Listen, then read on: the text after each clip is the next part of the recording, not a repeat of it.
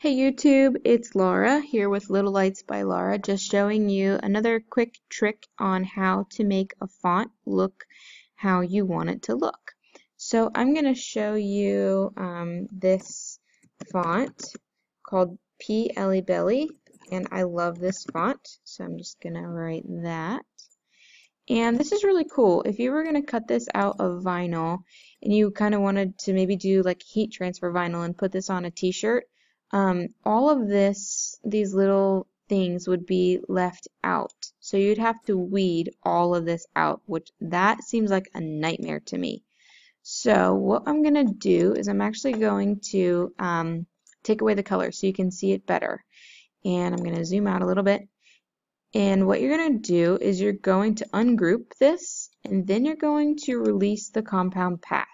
Now, I'm going to go back through, I'm going to hold my shift key and I'm going to click on everything I want to keep. So I'm taking the middle part of the O and the middle part of the E, everything that I want kept. I need the dot of the I, need the F, whoops, I don't like that that happened.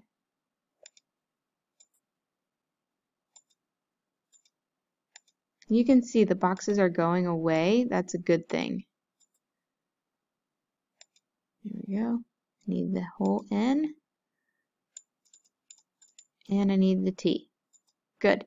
Now all of the little stuff is selected. So I'm just going to hit delete on my keyboard. And it's that easy. From there, you can just select everything and make it a compound path.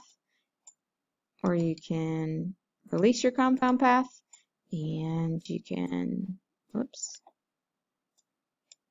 stack it up, make it a compound path that way, whatever you want to do. But now, if you go back in and all of those little specks are gone, you're good to go.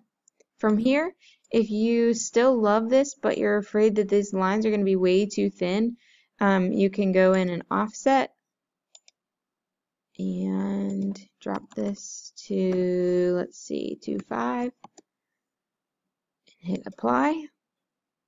And now you can pull this away and now you can make this a compound path. And we'll fill that in so you can see. There you go. So now you have um, bolder lines. You can see the difference. This is um, offset and this is how it was when you started. So the bottom one now is going to cut and weed much simpler. So just something fun you can try and mess around with. Hope that is what you needed to learn from this tutorial. Um, please comment below if you need anything else and I'll be happy to try and um, put together a tutorial for something specific for you. Thanks so much and enjoy.